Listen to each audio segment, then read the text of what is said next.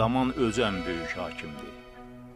100 il, 200 il bəzən tarix üçün bir göz qırpımından da qısa bir zaman məsafəsinə çevrilir. Maddi mədəniyyət abidələri onların mövcud olduğu ərazinin kimə mənsub olduğunu təsdiq edən elementlər olsa da, insan kimi daşın, torpağın da yaddaşı var. Abidələr məhv edilə, dağıdıla, saxtalaşdırıla bilər. Ancaq torpağın, daşın yaddaşını məhv eləmək mümkün deyil. Sənə mənsub olmayan torpağa zorla da olsa sahiblənə bilərsən. Ancaq onun ruhunda, yaddaşında yaşayanlara sahib çıxmaq mümkün deyil.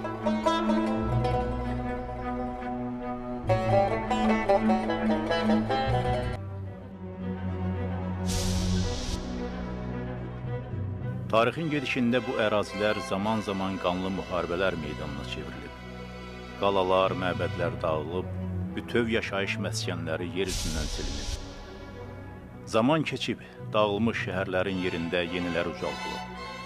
Abidələr bərpa edilib və hər dəfə də bu yerlərdə Azərbaycan mədəniyyətinin, tarixinin qəhrəmanlıqlarla zəngin yeni səhifələr yazılıb.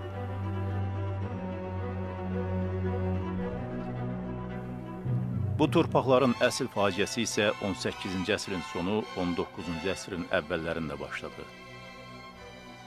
18-ci əsrin ortalarında Nadir Şahın ölümündən sonra Azərbaycanda yeni müstəqil və yarım müstəqil dövlətlər, xanlıqlar və sultanlıqlar yarandı.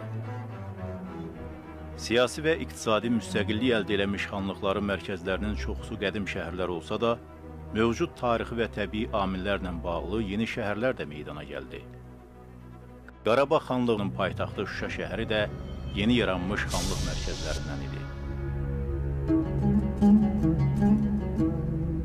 Qarabağ xanlığının yaradıcısı Pənahəli xan Sarıcalı Cavanşir müstəqillik əldə etdikdən sonra müdafiə işlərini gücləndirmək üçün 1748-ci ildə Kəbirli mahalında Bayat qalasını, 1751-ci ildə isə Tərnəkütdə Şahbulaq qalasını tikdirdi.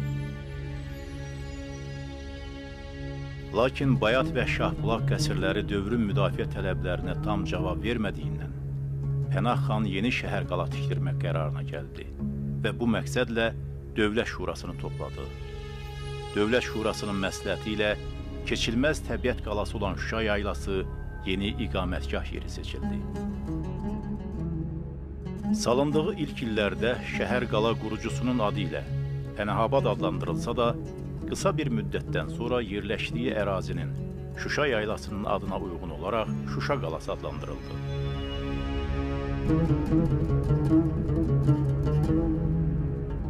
Şuşa yaylasının dəniz səviyyəsindən ən hündür yeri 1600, ən alçaq yeri 1300 metrə yaxındır. Bu yüksək dağlıq yaylanın çevrəsi daşaltı və xəlfəli çaylarının yataqlarına yenən dərin uçurumlarla əhatə edilib. Şəhərin cənub tərəfi nisbətən hündür və horizontal düzənlikdir. Bura Cıdır düzü adlanır. Cıdır düzündən bir qədər aşağıda 40 pilləkən deyilən dik pilləli yol Daşaltı çayına aparır. Xəzinə qala mağarası burada yerləşir.